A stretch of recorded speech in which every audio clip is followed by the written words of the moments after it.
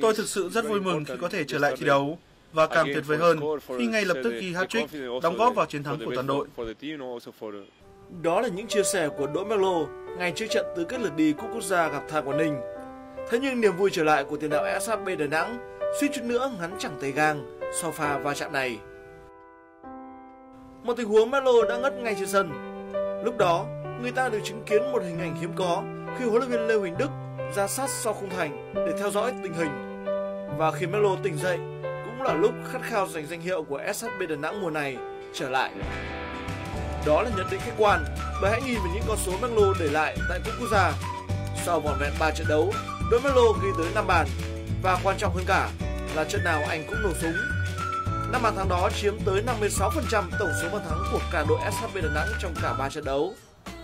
Việc huấn luyện viên Lê Huỳnh Đức lo lắng tới mức chạy ra sát để quan tâm tình hình của Melo cho thấy anh quan trọng như thế nào với chiến thuật mà huấn luyện viên này đang xây dựng. À, tôi nói với anh rồi bóng đá là phải có con người mới có chiến thuật chứ không phải là có chiến thuật mới có con người. À, quan điểm của tôi là phải có con người mới có chiến thuật được. Thì nó phải phù hợp với à, cái lối chơi phải phù hợp với con người. Anh ta ở trên sân thì các cầu thủ người ta cảm thấy tự tin truyền bóng và anh ta rất hiệu quả. À, chắc trận đấu lượt đi anh thấy là tôi không có kết thúc được. À, tiền đạo tôi không kết thúc được nhưng mà có Melo có cơ hội thì anh ta kết thúc thì anh ta rất là quan trọng đối với đội bóng với việc chấn thương của Melo không đáng ngại, rõ ràng SHB Đà Nẵng đang là ứng cử viên sáng giá nhất cho danh hiệu vô địch cúp quốc gia. Tuy nhiên họ sẽ cần phải vượt qua đối thủ cũng rất quyết tâm có danh hiệu ở mùa giải năm nay, đó là BKMX Bình Dương.